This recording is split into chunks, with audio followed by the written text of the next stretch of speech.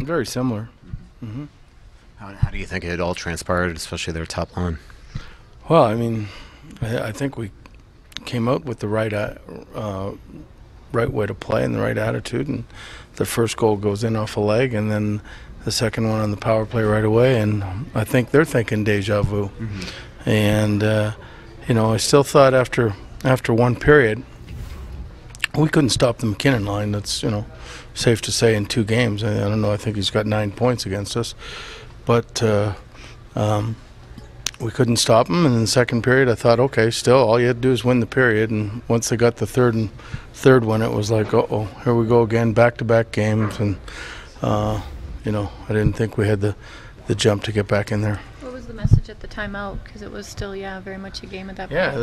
the- it was just it was still very much of a game. I mean, we had 50 minutes to play at that point. Let's uh, not get down. I mean, uh, if you're gonna if you're gonna get down and think negative thoughts and not be positive about your abilities, then then you're you're gonna lose before you you start. But I mean, that was pretty well just the message. And Things have been so positive lately. How disappointed are you just the way these last two games transpired uh, heading home?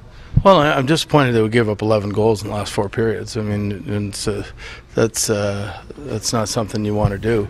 Um, I'm disappointed that anytime now, I mean, that you lose uh, one or two in a row. I mean, teams are gaining on you all over the place. So it's it's uh, not positive. But I mean, we get back to get home and and forget about this one. I mean, not forget about it, but remember it and and do something about it. And uh, we're still in a good spot. So uh, it's not the end of the world right now. Are we seeing how the margin of error shrinks at this time of year when you don't clear the zone or you don't connect on a pass and come back to bite you? Well, it did tonight. I mean, I think they scored on almost every scoring chance they had. So I mean, uh, it's a tough team to give scoring chances away in their building. Do you, do you feel like there this has been a trend this season, just with these type of fast teams uh, really taking you know control against you guys?